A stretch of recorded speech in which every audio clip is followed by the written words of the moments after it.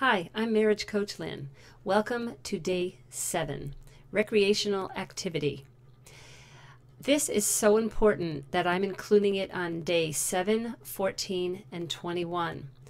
Recreational companionship is really, you get a great return on investment of your time when you do things that are physical and just highly active. So what I'd like you to do on, on this day, 7, you might want to set aside a, a non-working day for this. The other exercises in the book can take anywhere from 5 to 15 or 20 minutes. This one I'm asking you to take between 30 minutes and 4 hours together, the, just the two of you, to engage in recreational activity. That could be walking, jogging, hiking. It could be paddleboarding, skiing, taking a lesson in snowboarding or skiing. Depending on your area and what the two of you like to do, there's so many things you could do. Boating.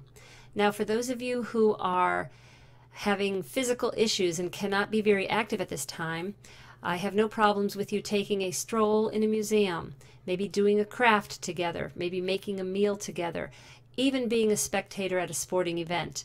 However, for most of you who are able to do physical activity, I'd love for this to be a participation. I would like you to make sure that it's a, it's a mutual interest. Now, sometimes in marriage we have to compromise. Now, it's okay for you to maybe compromise with your partner, but I don't want a bad attitude and begrudging. Something you really don't want to do and you're going to give in to your partner won't really make for fun. So hopefully there might be one partner who likes an activity a lot more than the other and the other willing to give it a try. That works. You can sort of flip that around on day 14 when you go to pick another activity to do. Maybe the other partner would be the main uh, decision maker in the event. Let's see what else I would like to add to this.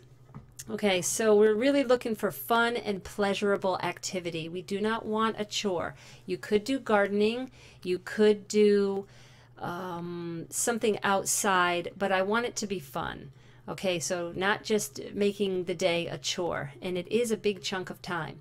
Maybe you can do something new. Maybe you can be a tourist in your own town. Perhaps you can really consider where you live. And within an hour, maybe there's a park you've never been to that you can go take a walk. How about trying frisbee golf or disc golf? You could go mini golfing. You could go hit golf balls on a driving range. You could do any number of things. It's it's just your imagination. Try to find something physical. Rock climbing, uh, maybe taking a fitness class class together or just working out in your own home gym. For those of you with many young children, you don't have to hire a babysitter and disappear for four hours. You could do something in or around the home. You could play croquet in the backyard or bocce ball, just the two of you. Resist the temptation to involve family members. I'd really like the two of you to build on your own playfulness, your own recreation, and your teamwork. And again, I believe the return on investment is, is tremendous when you spend time doing recreational activities together. You will increase your friendship and increase your emotional connection. So I hope you enjoy your recreational activity, and I'll see you next time. Make your marriage great.